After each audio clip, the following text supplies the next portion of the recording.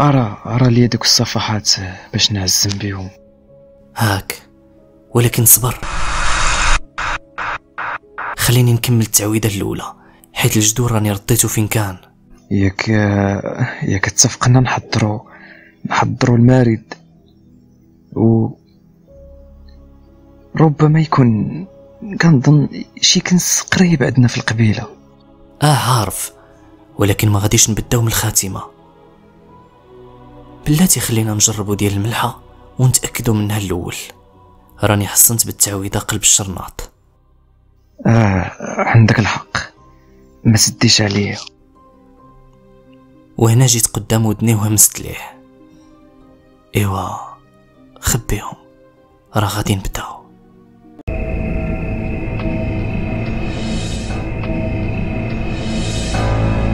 نهج العواصف.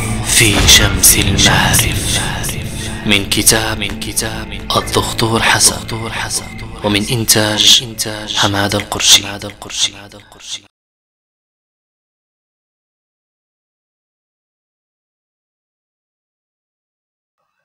الحلقة الثانية.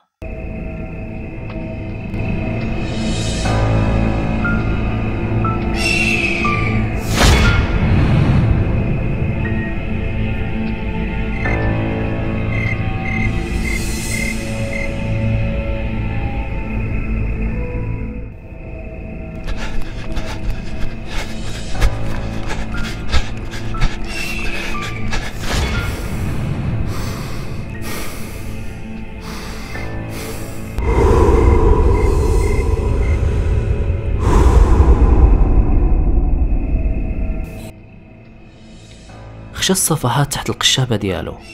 وكيف كنت داير ليها أنا؟ وبديت نلقي التعويذة ذكر ذكر ماكس. ثالع جوم جيم. ثالع جوم جيم. عين. ذكر منز طالع جوم جيم. عين. جي غرا يا يرزاق.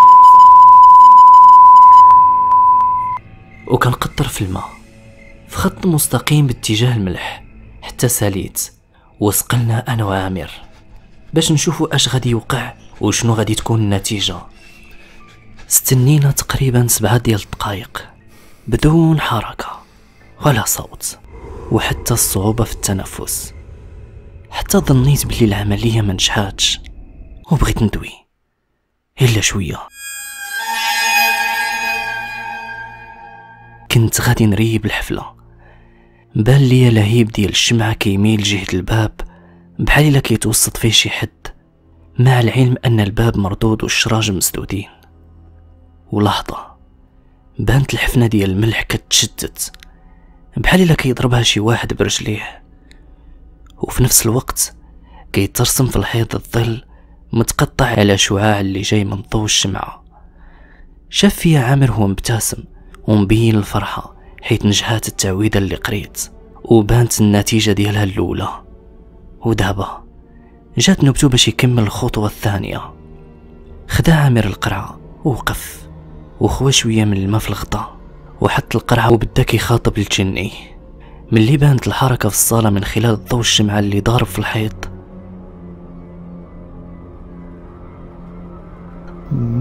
مرحبا بماعوت مرحبا بخادي. مرحبا مرحبا بالمطلوب. مطلوب نادينا عليك. يا ما ما بغينا من ما بغينا من ما بززنا عليك. هذا مقام عزك يا قبل علينا. قبل علينا. ولا نفتي. العطشك نروي ويا وفي هاد اللحظة بدا كينفوت الدخان متقطع على شكل سحب اللي كانوا واضحين غير من الحيط. غمزني عامر وبديت في قراءة التعويذة الثانية. ولكن كيرمز لمولاه بحال شي شيباني. حرك عامر راسو أفقيا وفهمت باللي ماشي هو اللي دايرين في حسابنا. قطر عامر الماء في الغطاء وعلى داك الملح المتشتت. وهي تطلع منه سحابة الدخان غطات نص اللي قدامنا من الصالة وبانوا بانوا أجزاء من ذات الخادم من وسط السحابة. ولكن ما مفروزينش وهداك الصوت بدا كيتقطع ورجع بحال الأنين وقفت حتى أنا ودرت يدي من ورايا كنقلب على العصا كنت حطيتها تماك حتى توصلها نوبتها وتقضي واحد المهمة. العصا فيها واحد الحديدة بحال الكانجو ما لقيتهاش حتى شحفت حيت الضو الشمعة غطاتو السحابة ديال الدخان. وجهت العصا جهة الكرسي وضربت معاه حتى حكمت الكرسي. جريتو لجهتنا حتى قرب للخط المستقيم ديال الماء المانع ورديت العصا لبلاصتها وفي هاد اللحظة بانوا لي جوج المخات تيشيروا في الأرض وصندالتي كتمشى غير بوحدها. لهيب الشمعة بدا كيميل تاني وخرجات منها كرة ديال العافية. بحال هادوك اللي كيعمروا فمهم بالاركول وكيصوتوا في العافية. عامر خوا الماء تاني في الغطا. العز ليك وبيك يا ما أتينا بيك ن... ما علزمناك ب...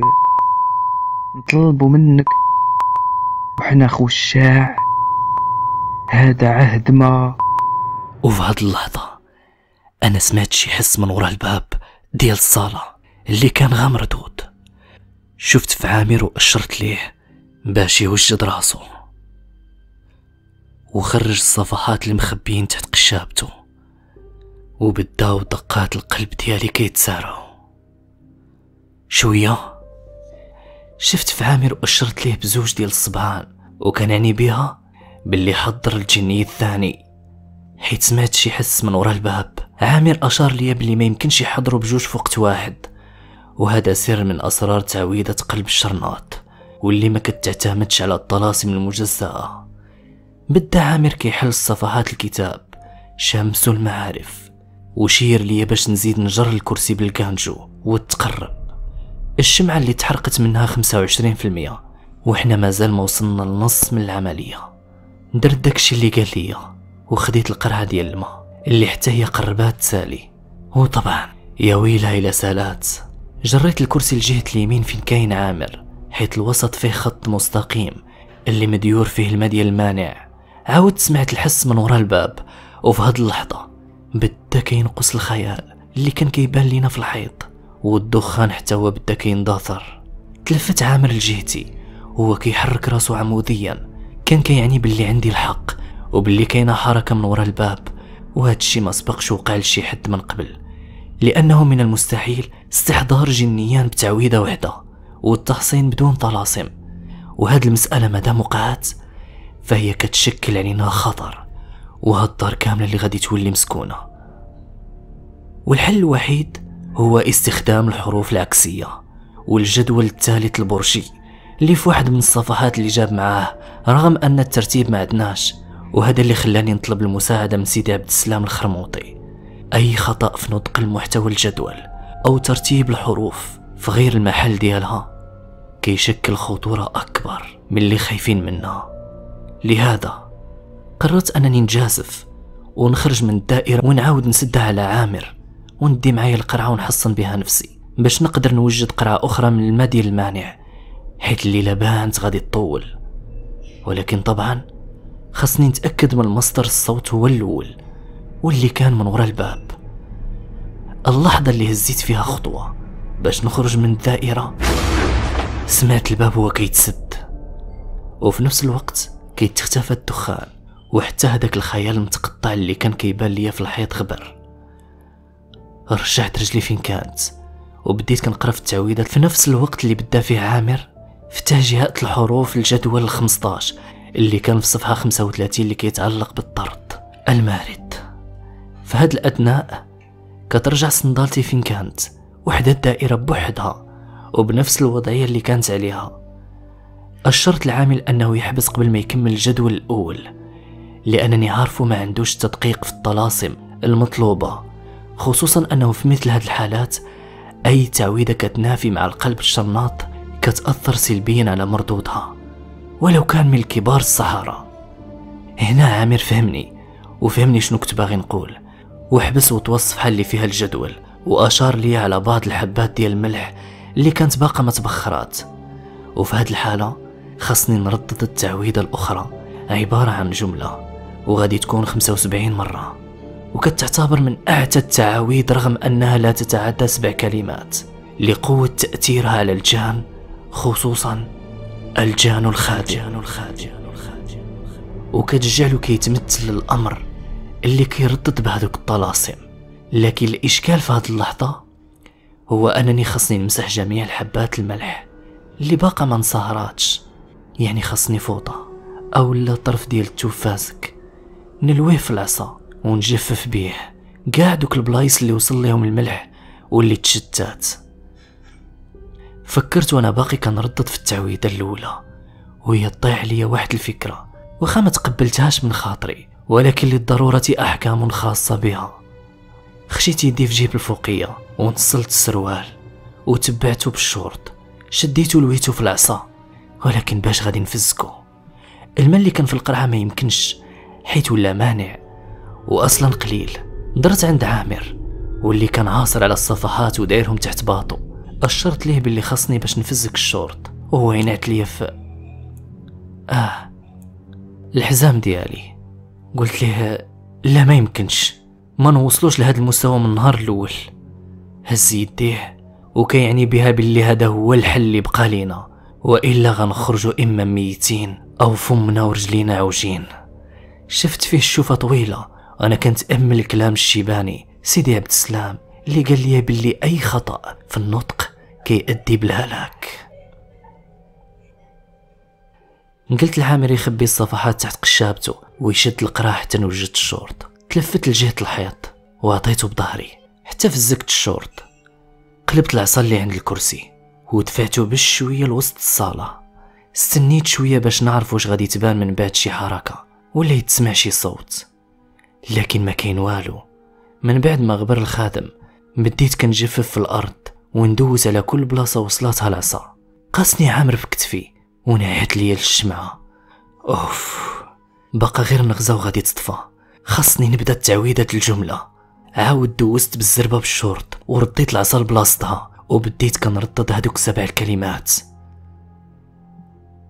أخ يا سام لا لنا الأرض سواك.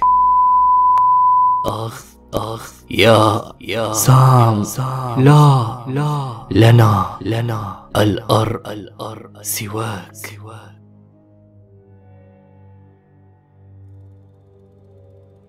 وصلت للمرة 42 وطفات الشمعة وظلامت الصالة وأنا نشد العامر في الفوقية وكملت حتى وصلت 70 مرة. وضرب لي عامر في يدي. أنا ما فهمتش علاش لكني كملت. بديت كندوز يديا بزوج جهة عامر باش نقيسو ونعرف اش واقع. لكن في لحظة ما لقيتوش حدايا وما كاينش الحس ديالو وحتى باش نعيط ليه ما نقدرش. حيت من الأساس ما عرفش واش تبطلات التعويذة الاستحضار ولا لا وهذا كان غادي يسبب لنا خطر إذا كانت ما كملاتش. وطبعا هو اللي مختص في هذا الجانب. استنيت شوية لكن ما بان والو. وأنا في هذه اللحظة ما نقدرش نفوت دائرة المنع قبل ما نتأكد حيث الأمر كيشكل خطر عليا وحتى على الدار. تفكرت العصا وقلبت عليها بيدي حتى لقيتها بديت كندوزها في أنحاء الدائرة. واش غادي نشدو؟ لكن ما رديتش البال الكرسي حتى ضربته طاح ودار الصوت. وفي نفس الوقت سمعت صوت آخر غير ديال داك الكرسي. أنا عرفت باللي القضية حماضت من بعد ما بان البلان العكسي. جلست وهزيت القرعة وخويت داك شوية ديال الماء اللي باقي فيه على الدائرة وتجمدت. شوية بديت كنسمع حس خطوات المصدر ديالها رجلين حافيين. بديت كنقرأ تعويذة الجملة. ولكن هاد المرة غير في خاطري. سديت عينيا باش ما نحاولش نركز مع التعويذة. وننجح هاد المرة وفي هاد اللحظة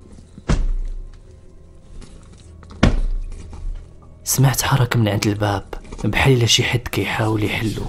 وغير بشوية بديت كنسمع أزيل بحال التصفار وأقرب إلى الهمس. من جهة ودنيا بزوج.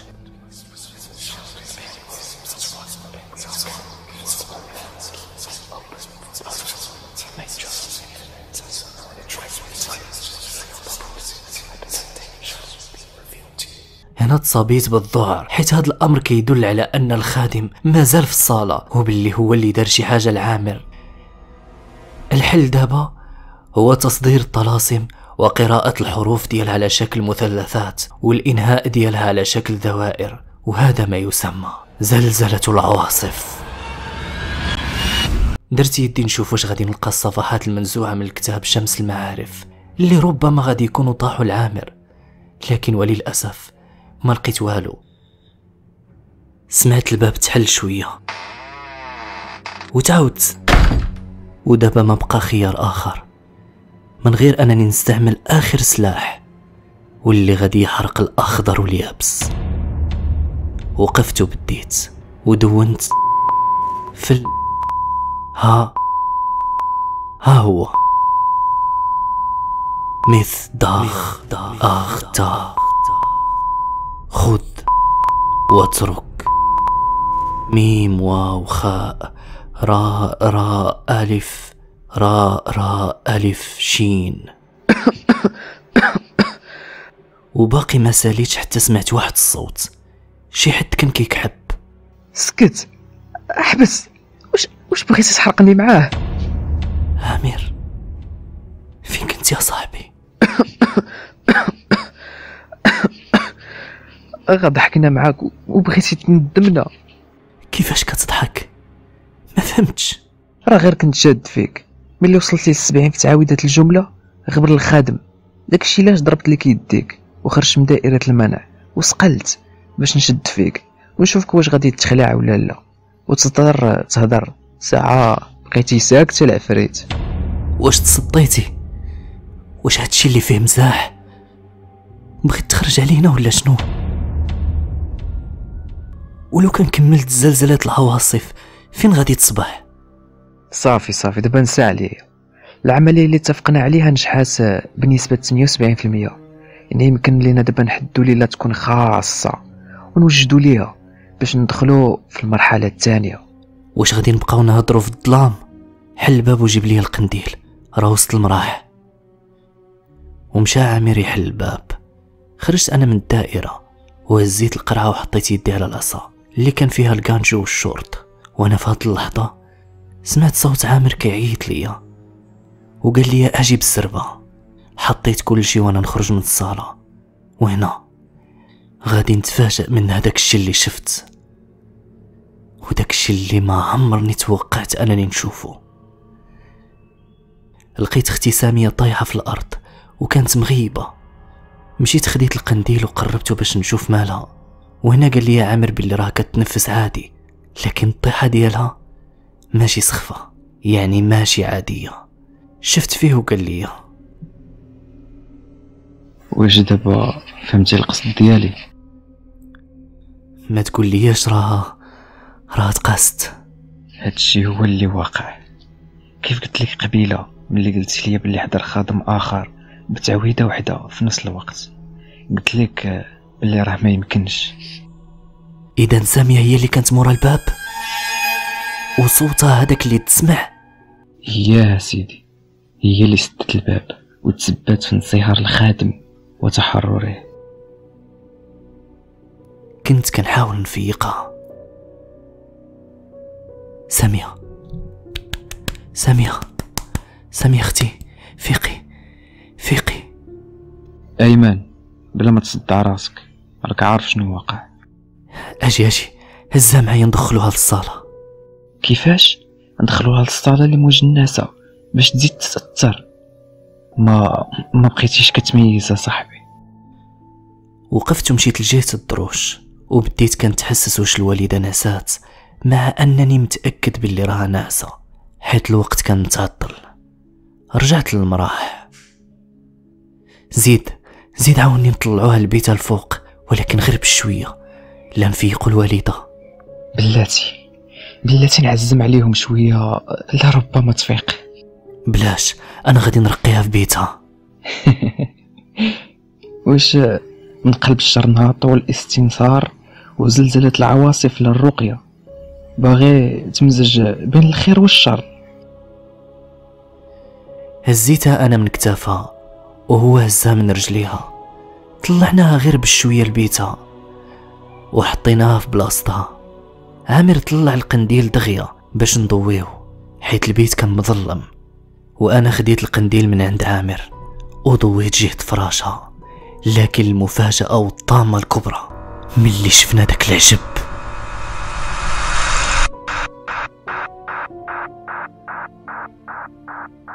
يتبع يتبع يتبع يتبع كانت هذه نهاية الجزء. كنتمنى تخليونا التعاليق ديالكم والتوقعات ديالكم في الجزء الثاني. ونتلاقاو الغد مع ال11 ديال الليل كيف العادة. وما تنساوش تشتركوا في القناة وتضيفوني على الانستغرام اللي غادي نبقى ندير لكم لايفات مورا الحلقة أو نحط لكم الصورة ديال الحلقة وتعطونا الآراء ديالكم تما. فهادشي اللي كاين ونتلاقاو غدا إن شاء الله.